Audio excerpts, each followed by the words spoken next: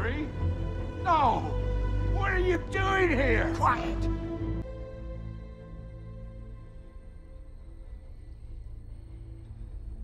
Harry Potter.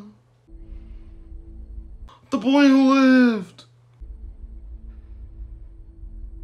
Come to die.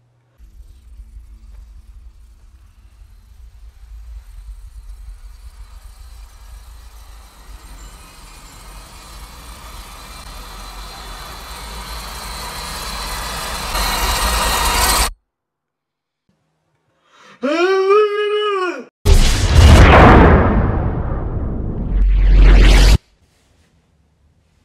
is up, Disney nerds? Today, I just saw Fantastic Beasts 3, and I want to talk about it. Let's get into it.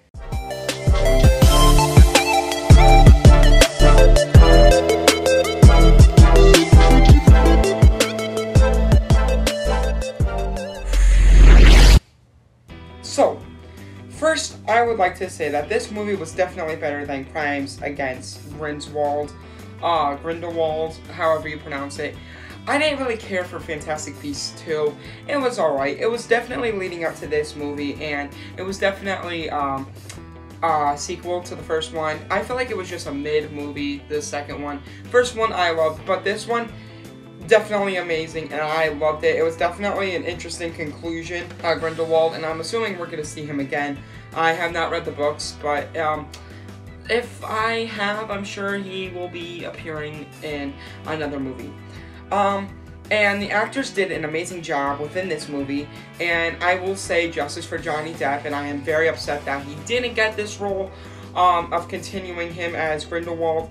But I will say that Mads uh, Mikkelstein, uh, Mikkelsen, I don't really know how to say his last name, did an excellent job, and in my opinion, I felt that it was slightly better than Johnny Depp's performance as uh, Grindelwald or Grindelwald, Grindelwald. Um, so anyways, I feel like Mads did a fantastic job, and his performance was definitely more sinister and wicked when it came to the role of Grindelwald, and he was definitely one of the best parts of this movie for me, in my opinion, and that's what I really loved about this movie was just his evilness, and like, even though he was barely in the movie, I felt, except for like kind of towards the end, he definitely had more of a wicked tone and more like sinister vibes. And that's what I really liked about this movie is the sinister vibes that it gave off with Grindelwald. And uh, not even just his performance, but uh, Dumbledore's performance in this uh, as Dumbledore, I forget his name, uh, but he did an excellent job as Dumbledore. Uh, so did. Uh, respect for all those characters as well. I also loved the story, and so I wanted to break that down to you and what I thought was the best parts of this movie. So there are going to be spoiler alerts in this movie, in this review.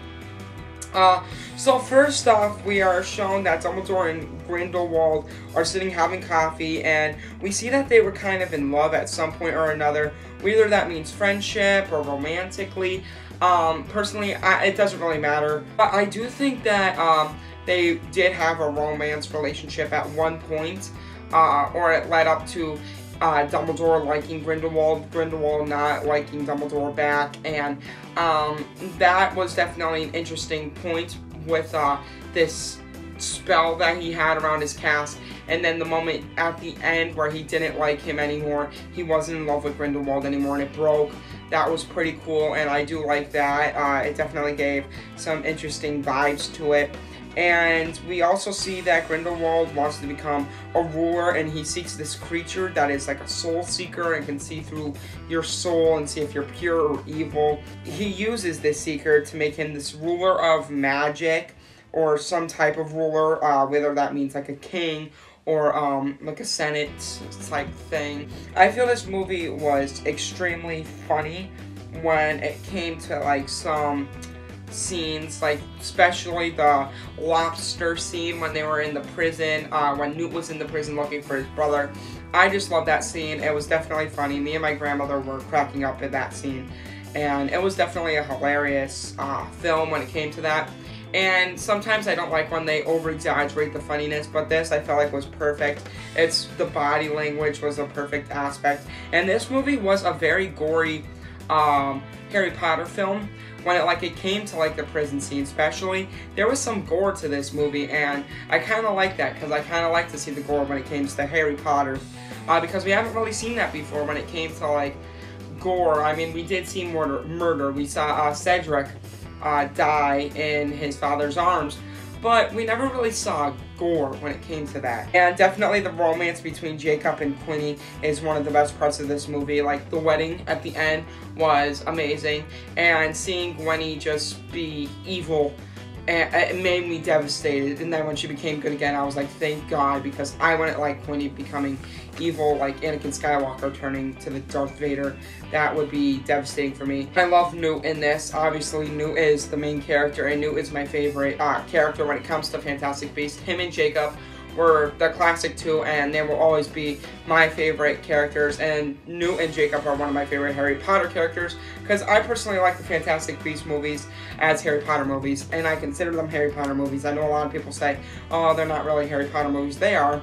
Um, and I really like these ones, and I love how it really focuses on Dumbledore and focuses, and it makes you know that it is uh, affiliated with Harry Potter when it shows Hogwarts and it shows all that. And that's what I really like about it. And overall, this movie was amazing, and I would recommend it. Uh, definitely, it's better than the second one. I know the second one did not was not that good.